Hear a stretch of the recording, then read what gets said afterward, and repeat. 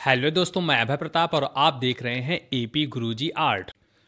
तो दोस्तों, आज हम आपको सबसे आसान तरीके से ह्यूमन ब्रेन का चित्र बनाना सिखाएँगे। आपने बिल्कुल सही सुना दोस्तों ह्यूमन ब्रेन का चित्र। बस आपको करना क्या होगा, वीडियो को शुरू से लास्ट तक देखते रहेगा दोस्तों। अगर आप वीडियो को लास्ट तक देखते हैं तो ये मेरी हंड्रेड परसेंट गारंटी है, आपको जो है ह्यूमन ब्रेन का चित्र बनाने से कोई भी नहीं रोक सकता है। और एक बार आप वीडियो को देख लेंगे तो आप जो है जीवन भर ह्यूमन ब्रेन का चित्र बनाने से नहीं भूल सकते हैं दोस्तों।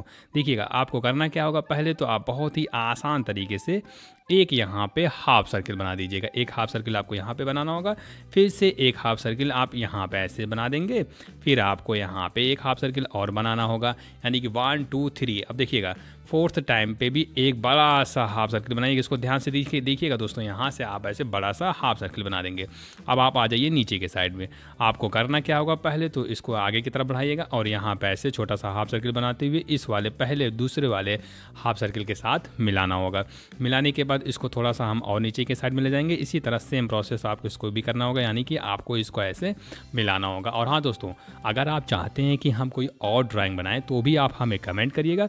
हम आपके लिए वो ड्राइंग बहुत ही आसान तरीके से स्टेप बाय स्टेप बनाना सिखा देंगे। और आपका कोई भी सुझाव हो तो आप हमें कमेंट करके ज़रूर बताइएगा। वीडियो को इसकी बिल्कुल भी मत करिएगा, क्योंकि आज हम आपको जो है ह्यूमन ब्रेन के पार्ट्स के नेम भी बताएँगे। और आप जानना क्या ये थर्ड वाला जो हमारा हाफ़ सर्किल है, इसको हमें बहुत ही सावधानीपूर्वक यहाँ से ऐसे नीचे के साइड में ले जाना होगा। यहाँ से आपको एक छोटी सी लाइन ड्रॉ करना होगा, फिर इसको जो है अंदर बाहर ऐसे ले जाइएगा, फिर इसको बहुत ध्यान से देखिएगा, इसको थोड़ा सा और अंदर की तरफ़, फिर आप बहुत ही आसान तरीके से यहाँ पर ला छोड़ देंगे। अब आपको इसको डबल भी करना होगा, यहाँ पर आप ऐसे डबल कर दीजिएगा। डबल करने के बाद एक ऐसे छोटा सा हाफ़ सर्किल बनाइएगा और इसको हमें ऐसे एक सीधी लाइन नीचे के साइड में ड्रॉ करना होगा।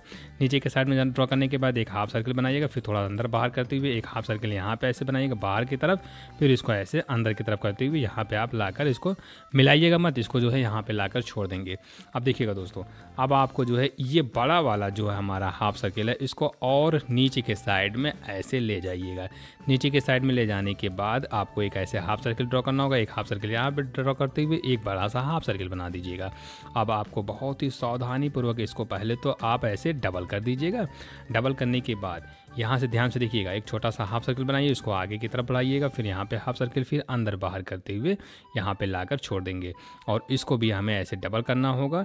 डबल करने के बाद दोस्तों, अब आप देखिएगा, ध्यान से देखिएगा, यहाँ से आपको इसको ऐसे इस वाले लाइन के साथ मिलाना होगा और एक सीधी लाइन आप यहाँ पर ऐसे ड्रॉ कर देंगे, इसको आप यहाँ पे लाकर छोड़ दीजिएगा।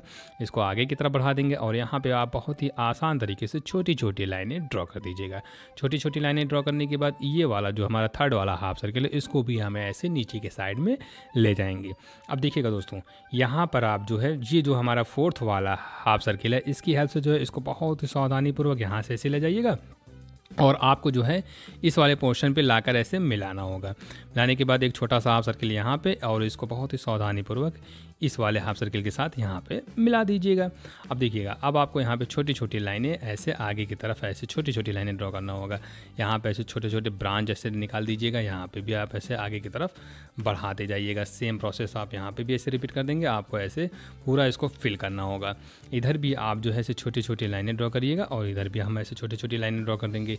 अब देखिएगा, यहाँ पे भी आपको एक लाइन ड्रॉ करना और यहाँ पे भी ऐसे आगे की तरफ़ बढ़ा दीजिएगा। तो दोस्तों, ये हमारा ह्यूमन ब्रेन का चित्र बहुत ही आसान तरीके से बन के तैयार हो गया है। तो चलिए, अब हम जो है इसके पार्ट्स नेम लिखना शुरू करते हैं।